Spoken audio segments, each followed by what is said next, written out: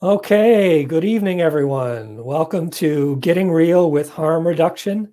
It's another live discussion on Facebook and YouTube with the Night Ministry. My name is Burke Patton. I'm the communications manager here at the Night Ministry.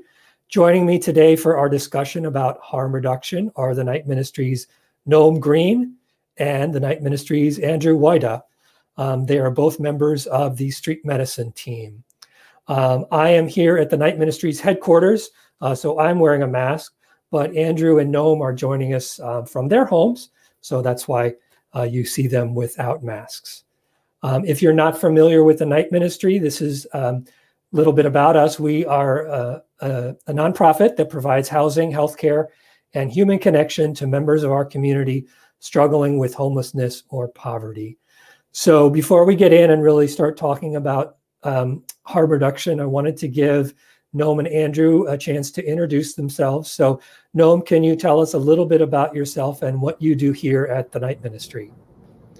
Hi, everyone. So, I'm Noam. I'm the lead street medicine outreach worker here um, on our street medicine team. And basically, what I do is uh, coordinate and organize our street medicine team, put the schedule together, all that kind of administrative stuff. And then I also um, just help facilitate the whole team to do what they do best, which is care for our clients. So, a lot of what we do is provide free medical and social services. So, that could include a housing assessment, help with getting your stimulus check, help with getting your ID, um, linkages to care, referrals, and we'll talk a little bit more about that as far as harm reduction aspect of that and I'm here in my house uh, where I live with my wife and our two rabbits. and yeah, that's me. And so, street medicine, uh, just to give folks a, a little bit of an idea, you're you're out there literally going to people who are who are living on the on the streets and encampments and. Yeah, um, so street medicine is different than how you might practice in a clinic or at a hospital. Uh, we have a customized van. So it's a it's like a big transit 350 van that's been customized for street medicine use. So we have a, a section in the middle that we use for clinical visits, or we used to before COVID. Um, and then we're able to do some kind of basic primary care actually in the van and we also distribute basic survival supplies from the van. So we're able to get into a lot of the smaller encampments or even just to where, you know, one or two individuals are sleeping unsheltered. So it gives us a lot of, uh, a lot more range and a lot more flexibility with our outreach. Great. Andrew, can you tell us a little bit about yourself and your role at the Night Ministry? Yeah, sure. So I am a licensed clinical social worker and a CADC certified alcohol and other drug counselor. Uh, I work as substance use advocate. Uh, primarily, I focus on, uh, I work with the street team to focus on uh, people struggling with opiate addiction, um, all sorts of addiction, but opiate addiction is the heavy hitter um, and the one that we typically offer more medical services for. Um, uh, like I said, my, my main focus is, is working with them, trying to get them through uh, detox programs, inpatient programs, outpatient programs, uh, medical assisted treatment. Um, and when we're not doing that, it's it's basically uh, outreach, just trying to get people food, water, clothing, all the all the fun stuff we offer every day off the van. Thank you so much for those introductions and, and the background information about street medicine. I want to invite everybody who's watching this evening, um, if you have questions for Noam and Andrew about harm reduction, please put them in the comments and we'll get to them soon. But first, we have some questions uh, to get the conversation started. So the first question I wanted to ask, which is a basic question, but uh, there's probably a lot in the answer, but what is harm reduction? So, I get for anyone who isn't versed in this work already, uh, we work from a harm reduction perspective. Um, so, harm reduction is based in person centered therapeutic models on motivational interviewing practices as a counseling strategy.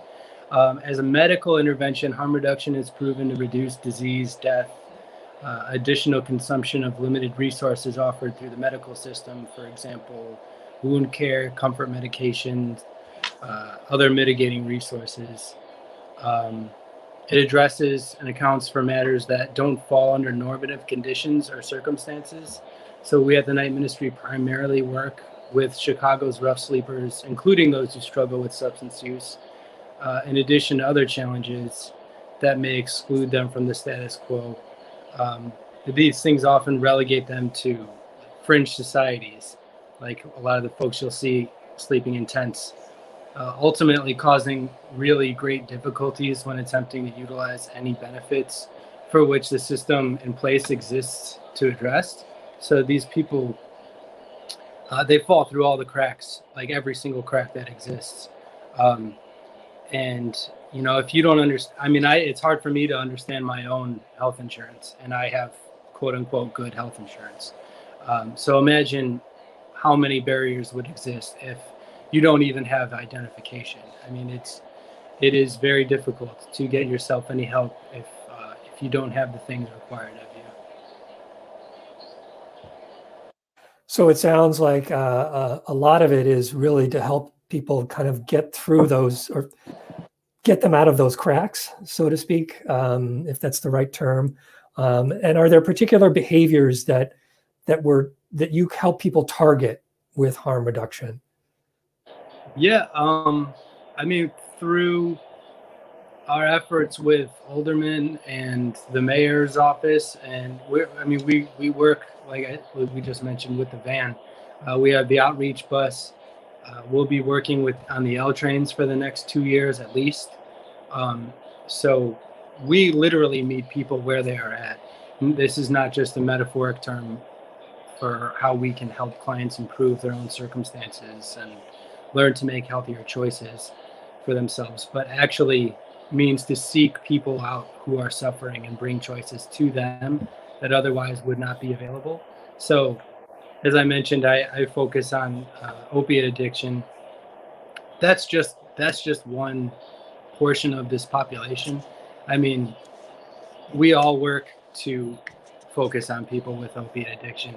Uh, we uh, there are other people on the team who do a lot of work to get people housing. As we as as people at the night ministry see housing first, you know that is really the number one thing that gets people through uh, any of this. It, it it's very difficult to get sober, but imagine doing that in a tent. I mean, like it just insurmountably adds to how many barriers and or how many how many problems you have to then deal with and how much more painful that is.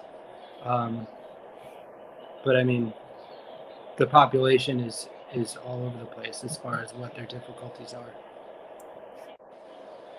Noam, I wonder if I could bring you in on the discussion at this point. And are there other um, behaviors or things that um, clients that you work with um, that you engage with them around with harm reduction? Yeah, I mean, um, Andrew, I think explained it perfectly. Like with a lot of our um, injection drug users, we provide clean needles and syringes, and then um, alcohol wipes, um, free Narcan, which reverses uh, overdoses to prevent death. And, you know, we've heard, um, I guess you could say, like secondhand, that a lot of our clients are able to use the Narcan to prevent, you know, the deaths of their friends and people they know on the street. So that's been very effective. Um, and then as far as the clean syringes and, you know, hygienic supplies, that really helps to reduce um, skin and soft tissue infections. And those infections can, if they're not addressed, they can develop into something really serious. And um, if you're living outside or sleeping outside, you know, you don't, you're not able to really keep those wounds clean. So it can, it can get worse pretty quickly. So we use uh, clean syringes for that reason.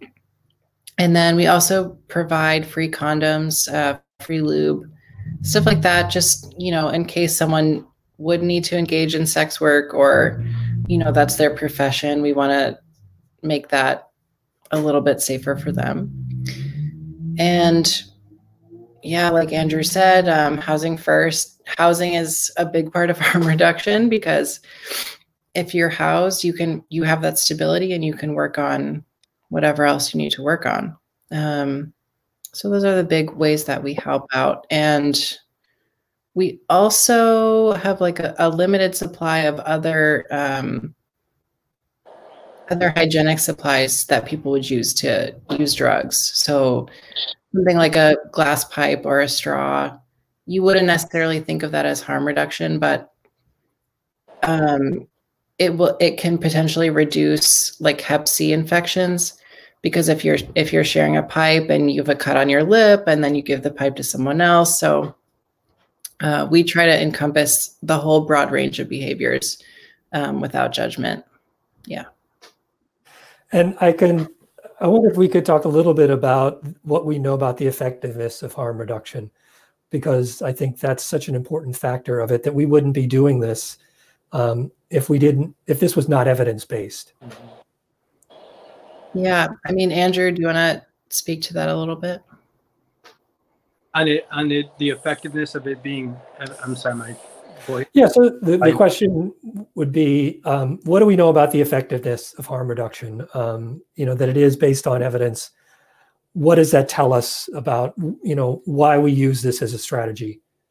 As as Noam pointed out, um, avoiding uh, wound, uh, using wound care on the street to avoid soft and soft tissue damage and just uh, those those things can get pretty gnarly uh, if you don't have access to a shower and, and to be able to, to clean yourself, uh, clean wounds well. Um, these things will clog up the ER more than anything. And this is the, these these folks aren't normally uh, insured as well. So when people who have no money, no resources, and need need care badly, um, it's not easy to just i mean maybe some cases it's easy but it's it's typically not easy to turn these folks away uh, from that care. So this is what this is what just really does not help the system run at all um, because we all have to kind of rely on these things um, and that is proven. That is that is data that is hard data that we can look at over the years and see how many resources have to go resources have to go to people who don't otherwise have any care. Um, obviously, you know, clean needles do even more of that in avoiding uh, infections. Narcan reverses death, literally. And um, I know I've I've been doing Narcan training and harm reduction training for a little while, and um, I've had it's gotten better over the years, but there there are there in the beginning there were people who really didn't understand it. Uh, it sounded simply like we were saying using heroin is okay. It, like, it sounded like we were enabling the behavior. Um, and it was a really interesting problem for me to confront because at first I was just shaking my head like how how could that be the next thought? But if you've never seen these things before, it can be pretty jarring, I imagine. Um, for us, the simple answer is you don't get to learn any lessons if you're dead. You know, so this gives you a second chance, um, and I don't think we even need a lot of data to just see the simple fact is if you have a second chance to live, then you have a second chance to live well. Um, I mean that is that is an extreme version of that because we get to see it immediately happen. Uh, this reverses an overdose immediately uh, within seconds, I should say. Um, longer term, it's harder to tell when you're seeing people suffering with, you know, pretty bad wounds, uh, limbs that need to be removed, you know, having to deal with these things that take much longer to happen uh, is harder to see without that data, but those numbers are there. I wonder if I could ask you um, how do you talk with clients when you think about here's, you know, whether you're introducing them to Narcan um, or some other methods of harm reduction? Maybe Noam, you could start with that. How do you, um, if you don't have, you know, how do you start that conversation with folks? Introduce them to different concepts or different strategies that they might use. Yeah, I mean, most of the time it's not us introducing them to Narcan. It's like, you know, injection drug users or or people who use street drugs. Typically, they know already what Narcan is, and um, you know, it's like everyone is the expert on their own body. Everyone is the expert on their own life. And I found that to be really true. You know, people understand that like using injection drugs is not healthy. You know, people know that, but they want to do, they want to make choices that are best for themselves. So we want to, you know, walk alongside them and not come from a place of like judgment, you know, just say no, drugs are bad, because we know statistically that doesn't work. Um, but when it comes to Narcan and using, you know, clean rigs and all that, basically, and Andrew, I mean, you can speak more to this too, but like people typically know how to use Narcan. They know if they want the nasal versus, you know, the vials or the auto injector um, they're always going to be on the cutting edge as far as harm reduction. Like people on the street are always going to be the experts on harm reduction because they're the ones, you know, living there and they are experts in the field, literally, because they live there. Um, as far as like, I don't know that we've had to convince someone of the use of Narcan because most people have had to use it on a friend or loved one. Um, so they understand the importance of it. Um, or they've experienced an overdose and had, you know, come back because of Narcan. Um, yeah, I think people do want to make, you know, healthier choices, especially with their hygiene and stuff. And a lot of times it's just that the opportunity is not there or the access is not there. Um, so we just try to provide that access and and take that barrier away. Yeah, yeah. You mentioned earlier about them being experts. A lot of these folks we work with, they've saved way more people than we have. I mean, they they are with the folks who need Narcan. They are they need it every day sometimes. Um, so yeah, I mean that just that point alone, I think is huge. Just a reminder to everyone who's watching: if you have questions for uh, Noam and Andrew, uh, feel free to put them into the comments, and and we'll get to them. We'll get to them shortly. I think you mentioned both of you mentioned this earlier about um, meeting people where they're at um, as as being part of harm reduction. Um, and can you say a little bit more about how that operates in terms of um, how it jives with the, the night ministry's values um, and how we approach people. I, I think I was uh, making that point to uh, effect two in twofold. Um, partially in that motivational interviewing is a, is a tactic used to try and, and really hear people out um, and let people really be heard. Um, so we want to meet them where they're at as far as where they're what stage of change they're in. Are they are they really ready to make all the changes that we would like them to make or we would hope for them to be able to make? Who knows? That's that's it's a different scenario with every person, and that person may change from day to day. Um, and then physically, we meet them physically where they are at. You know, they don't have to come looking for us a lot of the time.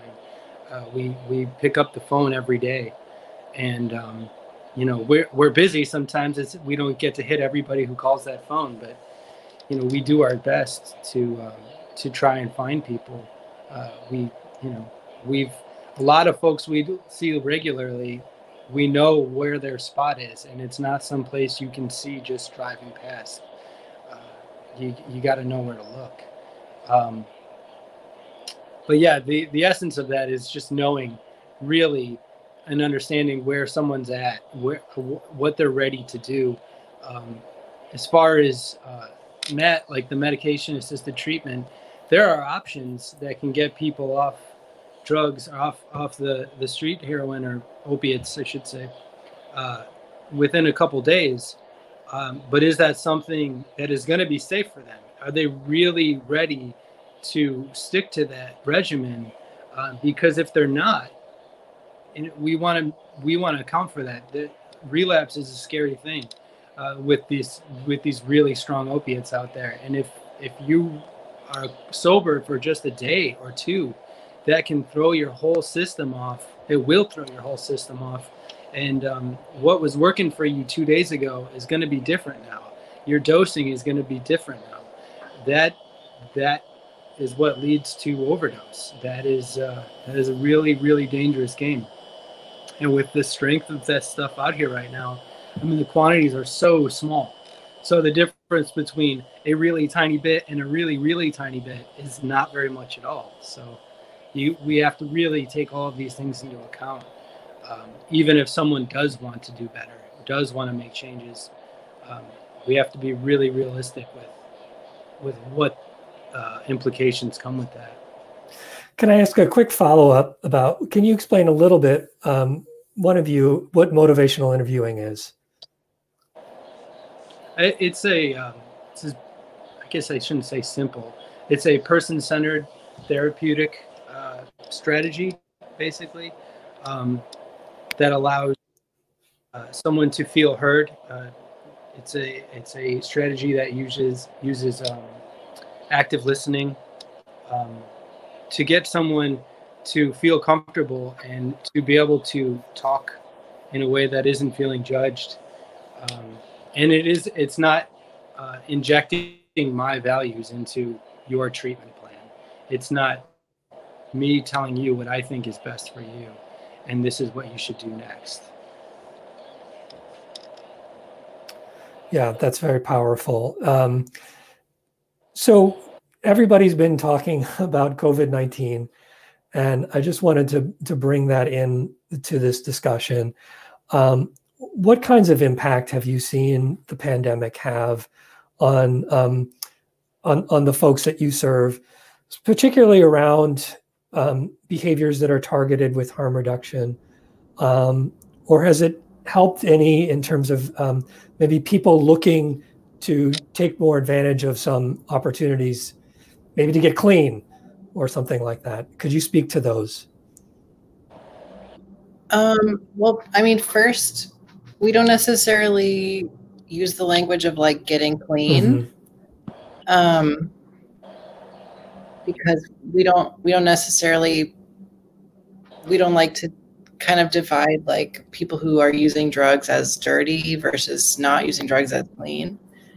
Um, I would say COVID has kind of cut off a lot of the services that people were relying on, especially, you know, in the loop when people used to just like sit along state or sit along Michigan and that's how they would get their income. Um, there's not the same level of foot traffic. I mean, it's a little it's a little bit more normal now, but when we were out, you know, really during the curfews and everything, there's just it was there was no one there. So that impacted people financially. And then because of the risk of infection within closed spaces, um, the places that people relied on for basic hygiene, a lot of those were not accessible. So the, the nonprofits that provide, you know, free public showers or even like the daytime drop-in centers, a lot of those are not operating anymore. So people have less access to a clean bathroom, less access to a shower or laundry. Um, so that has been uh, a big issue with our clients as well.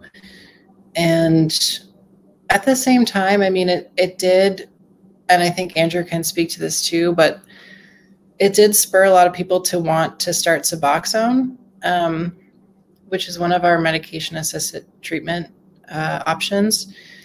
Um, so that was positive because it, it was their decision. They wanted to start Suboxone. So that was really nice to see. Um, but as far as, you know, city resources, it's been a little sparse, I would say. So we yeah. did have a, oh, go ahead, Andrew, please.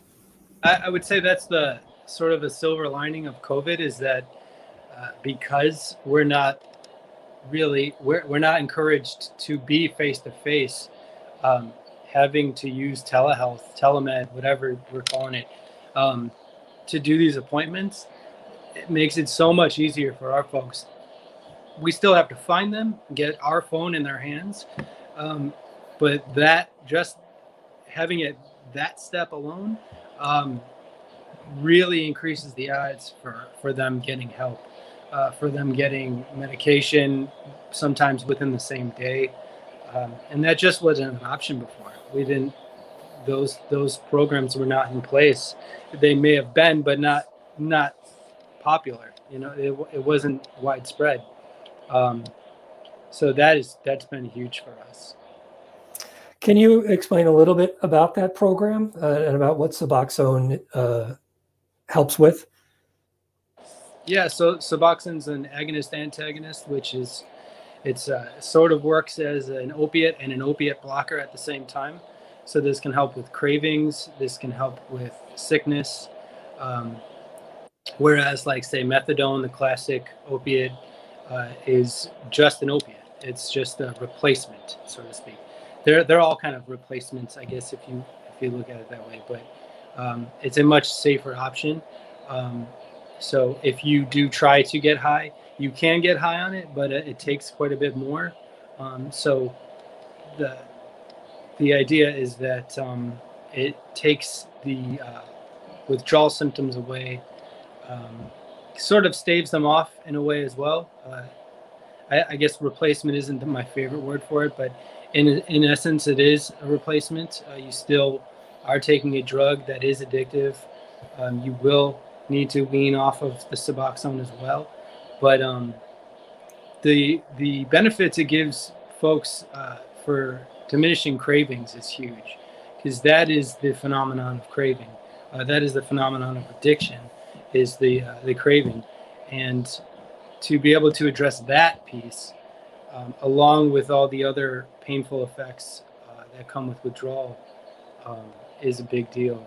The difficult piece about that is that you cannot just go from taking heroin, taking an opiate, fentanyl in this case mostly, um, to directly using Suboxone. You have to go into some significant withdrawal symptoms, which is really difficult for folks. That is typically that is the main reason for continuing use, uh, is to avoid those painful symptoms. Uh, so it does require sometimes up to 48 hours of, of withdrawal symptoms. Um, and with these really powerful opiates on the street, that, that can be pretty painful. On top of that, doing that when you're not in a medical environment, you're not in a detox program, you are in a tent, you are outside in the elements around who knows who, um, fending for yourself. The like I said mentioned earlier, that piece of of respecting the relapse and respecting the the harm that that could potentially put someone in is all part of the concern. Um, so we don't take any of this stuff lightly. You know, it's a great drug in a lot of ways, um, but it's not a miracle. It isn't uh, a cure-all. It it can help a lot of things, but it must be. Um, it, it, doctors have to pre- prescribe these things for a reason. And so we had a question from Bob about how do you do we literally give somebody a phone that they can use to make that appointment? Can you explain a little bit about the appointments that we're able to facilitate? Uh, yeah, we, we use the street medicine phone right now. Um, there is hopes that uh, one of the psychiatrists who we work with at uh, UIC, um, Miles Square is the hospital or the specific spot that helps us with the Suboxone inductions. Um, so there's a doctor who is uh, putting us in a grant to hopefully get them iPhones that they can hang on to um, to make their own appointments and just you know, and to just use to live because it's pretty hard to live without a phone these days. Um, but typically, we have to find them and and let them use our phone. Right. And Noam, I have a question for you from from Bob. Um, Bob writes, "I understand the logic of not using the term clean." Um, and is wondering, I think you touched on this, but are there are there alternative ways to alternative language or other ways that that that we talk about the journey from one place to another? Yeah, I think that's um, that's such an interesting question because some people really connect with that language of like wanting to get clean, or and some people really don't. I I try to just follow people's lead. Um, it's kind of similar to the way that we don't necessarily say like, oh, we work with homeless people. You know, technically speaking, that is true, but that's not the language that's normally used um, as far as like within nonprofit circles. Mm-hmm.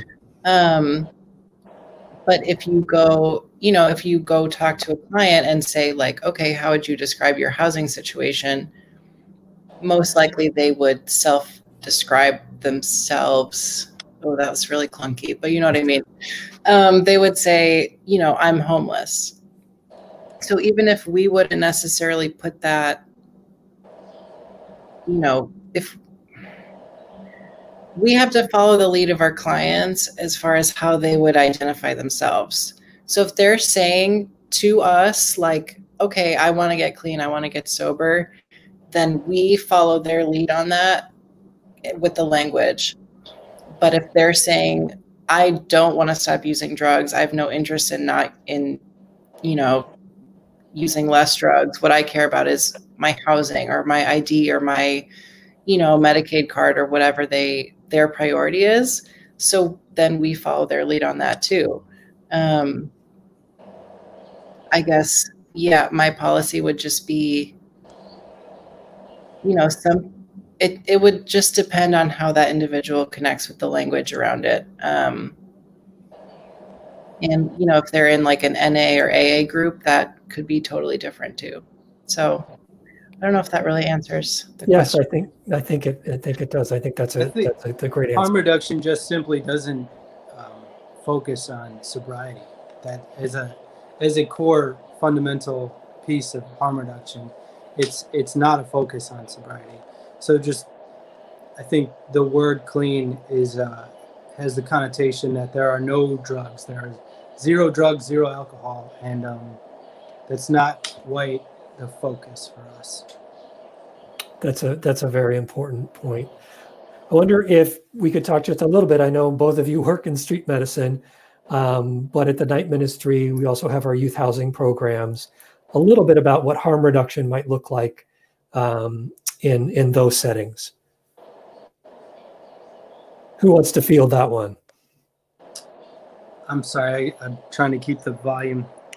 oh, so the question was, uh, sorry about that. The question was, I, obviously, both of you, we know, work in street medicine, but at the night ministry, we also have our youth housing programs.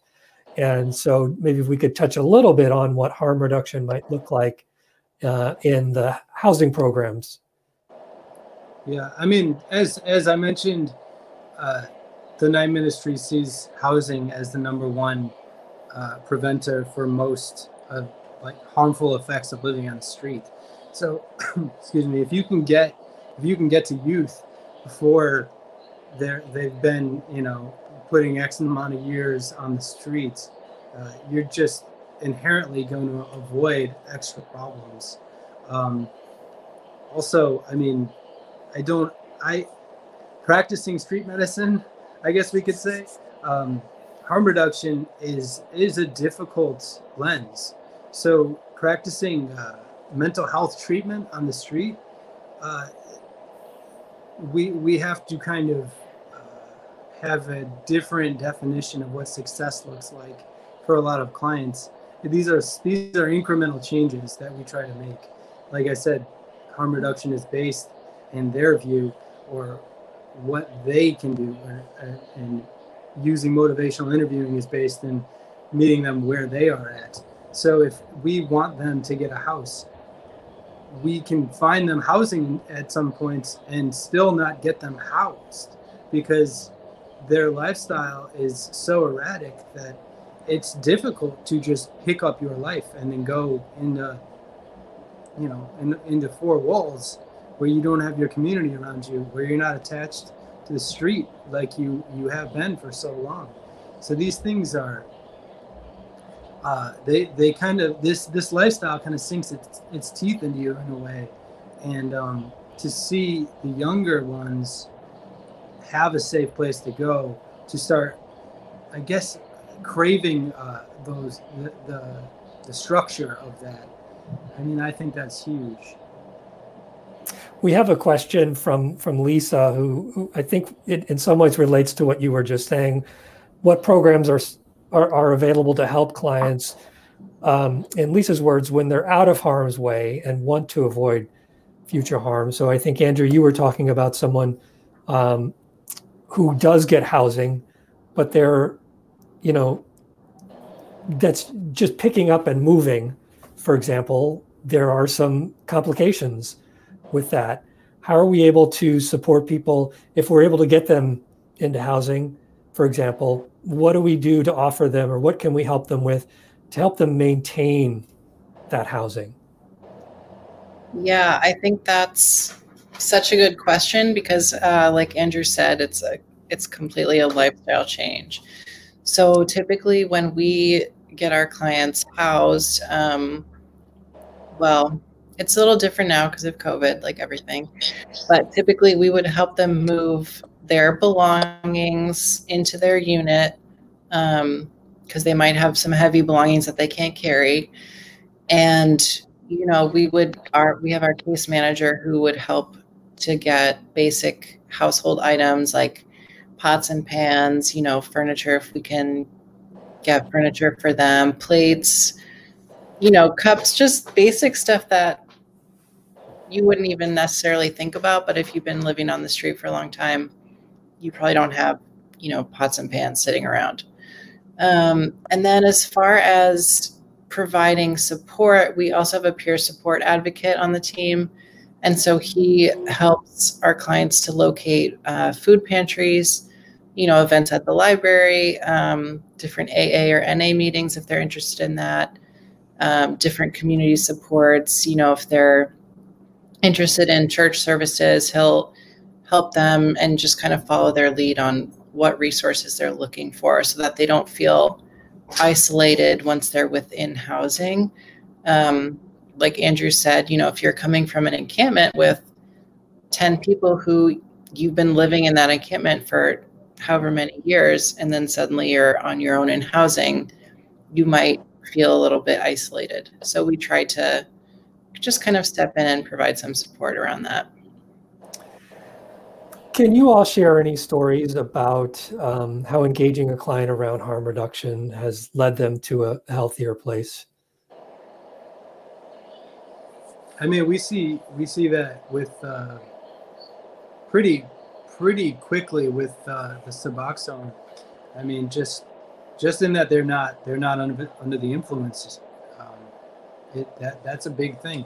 I mean, to be to be of your wits in uh, in these like riskier environments that can be sort of dangerous um, is one thing, but then to see them start to um, just kind of be just thinking more, just using their mind and talking more and talking more about what they'd like to do next and to start seeing that you know building that steam on that grain of salt like you really you really start to see that change and uh, start to see those wheels turning.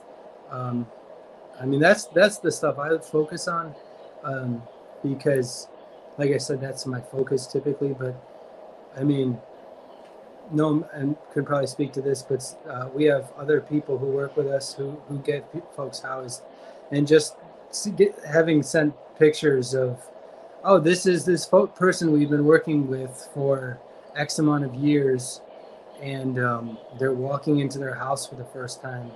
I mean, that's a pretty big. I, I don't even really know how to put that into words. I mean, getting sober is is a feat.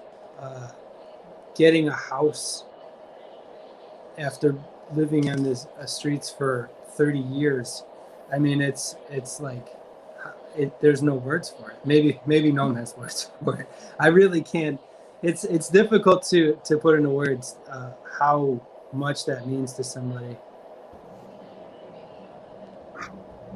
What did you have yeah. to add on that?